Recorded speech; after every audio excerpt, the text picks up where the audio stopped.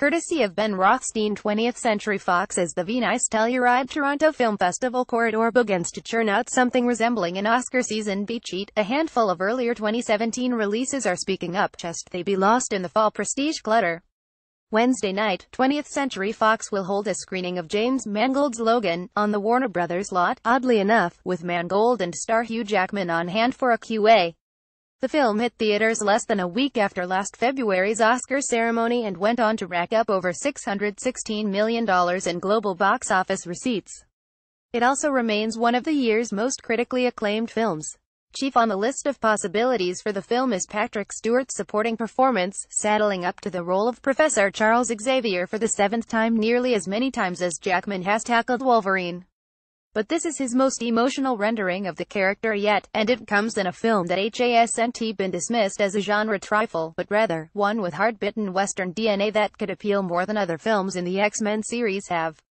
Prior to scheduling that event, the gears at Fox were already turning for another of the studio's genre entries, War for the Planet of the Apes. Producer Peter Chernin even hopped on the phone with awards press to discuss plans to keep Matt Reeves' film in the industry's eye. War HASNT connected at the box office as much as the studio would have hoped, but it remains one of the year's best, and you can expect a push for recognition, even of the special achievement sort, for what Andy Serkis and company have accomplished in the performance capture realm throughout the series. Finally, a number of journalists were quick to mention on Twitter that they had received the first award screener of the year in the form of Universal's Get Out Blu-ray mailer. In reality, Jordan Peele's satire, which grossed over $252 million worldwide, was meant to ship months ago timed to the DVD street date, but it fell through the cracks for boring reasons that aren't worth mentioning here. The discs went to members of the Broadcast Film Critics ASSN, and Hollywood Foreign Press ASSN, this week.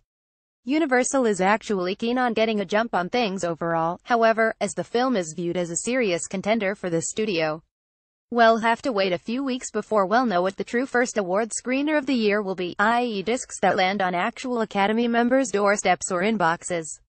But in the meantime, these campaigns are doing what they can to stay out ahead of what is sure to be another noisy season. We'll see how much of a grip they can maintain throughout.